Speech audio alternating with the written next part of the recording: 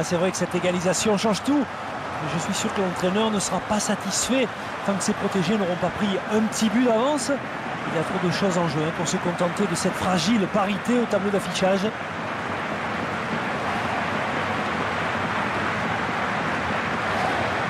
Ah, but partout, tout est à refaire.